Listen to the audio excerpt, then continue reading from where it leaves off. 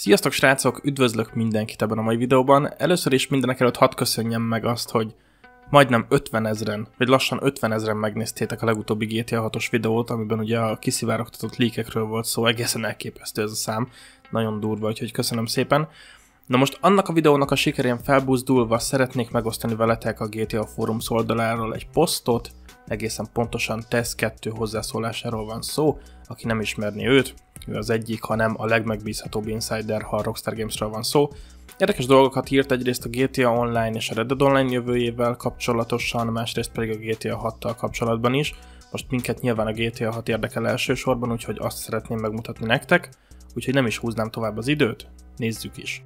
Kezdjük ott, csak hogy megértsétek az egészet, hogy tegnap, az október 13-án megjelent az első UFO Los Santosban, és összesen 17 állomása lesz ennek az UFO sightseeing eseménynek. Ezt már tavalyról ismerhetjük, biztos mindenki emlékszik még rá, hogy UFO-kkal és különös ilyen kicsit félelmetes időjárással volt színesítve a játék Halloweenkor, illetve az azt megelőző napokon is. Na most a Sightseeing event közepén, október 21-én, vagyis jövő hét pénteken a sima, normál UFO-kat le fogja cserélni a Rockstar az úgynevezett stealth UFO-kra, és hogy ez miért is érdekes? Nos, azért, mert egy pontosan ugyanilyen UFO látható azon a képen, amelyet még tavaly a GTA Trilogy megjelenésekor fedeztek fel a játékosok a San Andreas egyik ilyen UFO témájú bárjában.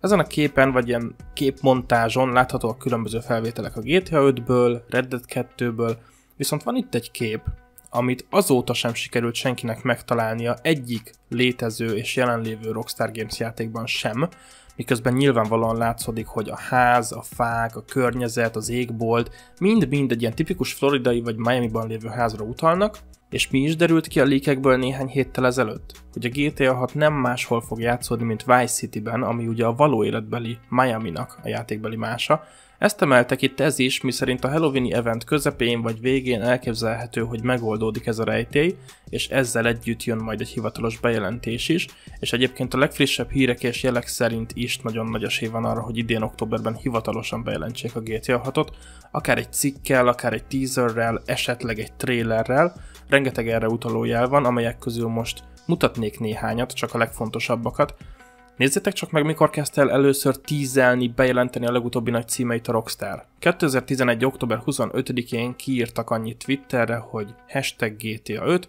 és a hivatalos weboldalnak a linkje.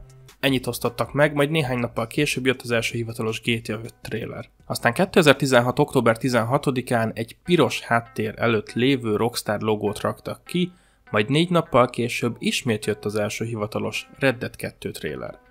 Tavaly a GTA Trilogy teaser videóját október 9-én tették közzé, majd mit ad Isten, néhány nappal később, 22-én jött maga a trailer videó is. Ami nem csak azért érdekes egyébként, mert szintén ősszel volt és szintén októberben történt, mint amire ugye most is számítunk a GTA 6-nál, hanem ez azon a napon volt, amikor a GTA 3 20 éves évfordulóját ünnepeltük, és mint tudjuk, a Rockstarnak nagyon fontosak ezek az évfordulós események.